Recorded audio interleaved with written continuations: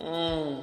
And this is how you make a summer crisp martini. So you put ice into a shaker, one and a half ounces of gin right in there. We all know I like a little, so I'm gonna just do a little schluck more. One ounce of Sauvignon Blanc, one equal parts Saint Germain. This is all alcohol. There's no mixer.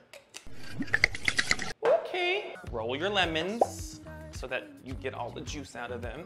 Squeeze half a lemon. All right, squeeze it in. Ready, set. I made the team. Find your best top. Shake it up.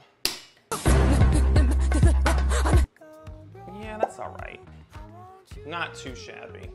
Rocks glass. Oh, you see it? Oh, yeah.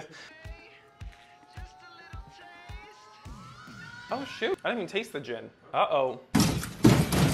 Uh-oh.